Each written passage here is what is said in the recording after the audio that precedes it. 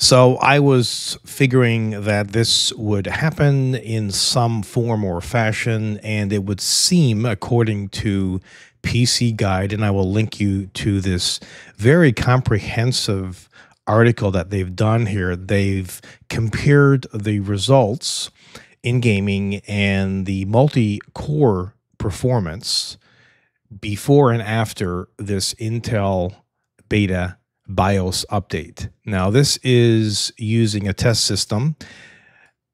They have the Intel i9 14900K processor along with an Asus. If you if you prefer Asus, that's perfectly okay as well. Maximus Z790 Dark Hero board and they have Corsair memory at 6800 MTS. So, you know, it's a very, very fast computer system.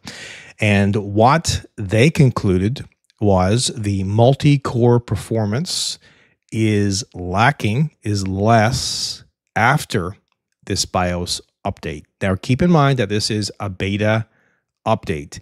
And we would rather, I think, I know I would, I would rather for the system to be stable than not. However, if you have a CPU, whether it's the 13th or 14th gen, and if it is degraded, this BIOS fix apparently won't resolve the issues with it. So if it's unstable, it will probably still be unstable uh, after, um, you know, the update.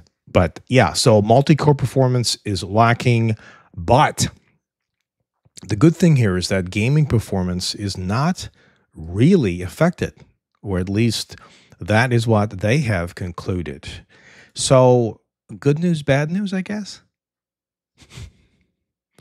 oh boy, we'll see where all this, um, you know, ends up because only now are manufacturers starting to update their BIOSes to resolve some of the instability with the Intel processors and this whole process with if you're affected, will you get an RMA? Will you get a new chip? Will they refund you? Um, I don't know. I mean, this is still this is still quite a mess, but at least you know it kind of looks a little brighter if you have one of these CPUs.